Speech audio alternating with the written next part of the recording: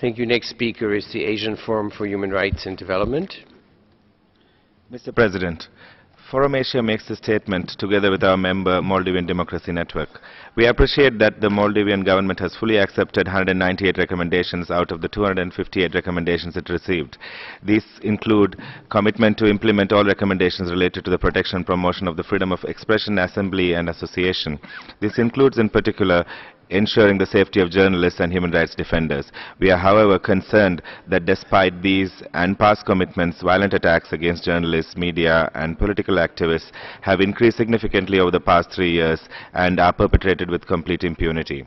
Enforced disappearance of journalist Ahmed Rilwan is emblematic of attacks against journalists. While failing to conduct a credible investigation into Rilwan's disappearance, the police have attempted to thwart demands for accountability as demonstrated most recently by the violent crackdown on a rally that marked one year of his disappearance.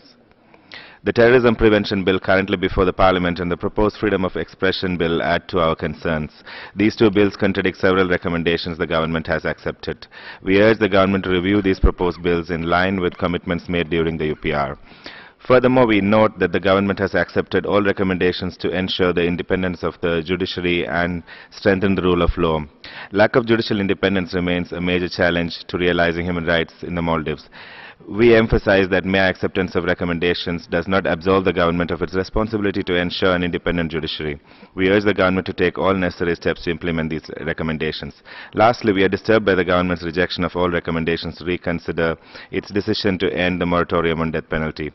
Serious concerns about the competence of the judiciary further aggravate these concerns. We urge the government to reinstate the six-decade-long moratorium. Forum Asia calls upon the government of Maldives to publicly set out a comprehensive, measurable and time-bound action plan for the implementation of UPR recommendations in cooperation and consultation with civil society. Thank you, Mr. President.